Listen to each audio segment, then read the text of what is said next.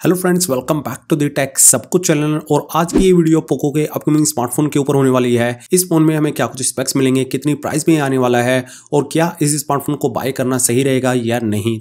तो दोस्तों, काफ़ी टाइम से इस चैनल पर आपको वीडियोज़ वगैरह देखने को नहीं मिल रही होगी तो मैं थोड़ा सा किसी और चैनल पर बिज़ी था, जो कि मैं आगे किसी और वीडियो में आपको बताऊँगा। वहीं अब से आपको इस चैनल पर रेगुलर वीडियोज़ वगैरह देखने को मिलेंगी। तो अगर आप इस टाइम पर एक नया स्मार्टफ़ोन लेने की सोच रहे हैं और आपका बजट पंद्रह से बीस हज़ार रुपये का है तो ये वीडियो आप लोगों के लिए काफ़ी ज़्यादा यूजफुल होने वाली है। इसलिए वीडियो को एंड तक ज़रूर से देखें और अगर चैनल पर पहली बार आए हैं तो प्लीज़ चैनल को सब्सक्राइब कर बेल को ज़रूर से दबाएँ। तो दोस्तों, आज हम बात करने वाले हैं पोको के upcoming smartphone Poco X5 Pro 5G की, जो कि सिक्स फाइव को इंडिया में लॉन्च होने वाला है। इस स्मार्टफ़ोन का लैंडिंग पेज फ्लिपकार्ट की वेबसाइट पर आप देख सकते हैं। इस स्मार्टफ़ोन के सबसे पहले डिज़ाइन की बात कर लेते हैं। यहाँ पर स्क्वायर शेप का डिज़ाइन हमें एज यूजल देखने को मिलेगा।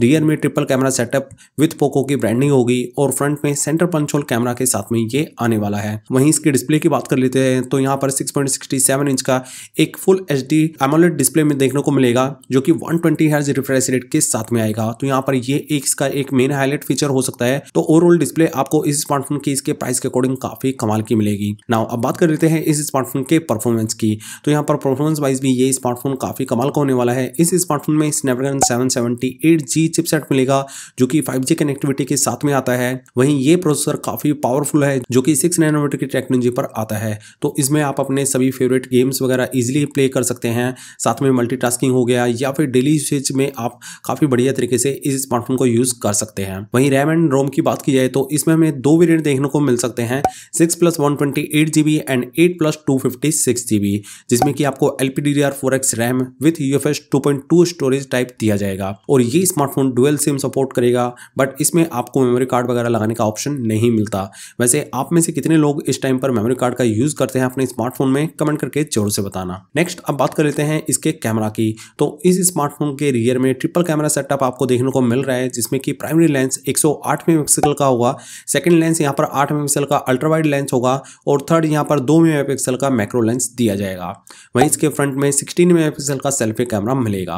तो ओवरऑल कैमरा सेटअप भी यहाँ पर काफ़ी अच्छा हमें देखने को मिलेगा। ना अब बात कर लेते हैं इस स्मार्टफ़ोन के बैटरी की। तो ये स्मार्टफ़ोन फाइव थाउज़ेंड बैटरी के साथ में आएगा, जिसमें कि आपको सिक्सटी सेवन का टर्बो चार्जिंग वाला चार्जर इसके बॉक्स में देखने को मिलेगा। तो काफ़ी फास्ट तरीके से आप इस स्मार्टफ़ोन को चार्ज कर पाएँगे। ना अब इसके अदर फीचर की बात कर लेते हैं। तो ये smartphone out of the box Android thirteen पर आ सकता है। जिसमें कि आपको डुअल सिम लगाने का ऑप्शन तो दिया जाएगा बट मेमोरी कार्ड आप इसमें नहीं लगा सकेंगे। इसके अलावा डोल्बी एटमोस वाले डुअल स्पीकर मिलेंगे USB type C three point five headphone jack side mounted fingerprint scanner and बाकी के सभी छोटे मोटे सेंसर आपको इस स्मार्टफ़ोन में मिल जाएँगे। ना अब बात कर लेते हैं इस स्मार्टफ़ोन के प्राइस की। तो ये स्मार्टफ़ोन फ़र्स्ट सेल में आपको स्पेशल डिस्काउंट के साथ में मिलेगा, जिसमें कि इसकी प्राइस ट्वेंटी थाउज़ेंड रुपीज़ के आसपास में हो सकती है। बाकी फ़र्स्ट सेल के बाद में इसकी जो प्राइस आएगी वो ट्वेंटी थ्री थाउज़ेंड रुपीज़ तक चली जाएगी।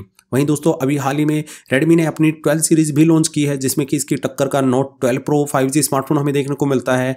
बट पोको में परफॉर्मेंस आपको थोड़ी ज़्यादा बेटर मिलेगी, क्योंकि यहाँ पर हमें Snapdragon seven seventy eight G chipset देखने को मिलता है। और पोको कंपनी अपने स्मार्टफ़ोन की जो प्राइस है, वो काफ़ी ज़्यादा एग्रेसिव रखती है। सभी बाकी जितने भी कॉम्पिटिटर हैं इस टाइम पर स्मार्टफ़ोन के तो यहाँ पर भी आपको इस स्मार्टफ़ोन की काफ़ी अच्छी प्राइस देखने को मिलेगी। तो दोस्तों, अगर आपका बजट बीस हज़ार के आसपास है तो आप इस स्मार्टफ़ोन को ज़रूर से खरीद सकते हैं। बाकी दोस्तों, वीडियो अच्छी लगी हो तो यार प्लीज़ वीडियो को लाइक कर देना। मैं मिलता हूँ आपसे किसी नई वीडियो में। तब तक के लिए take care and good bye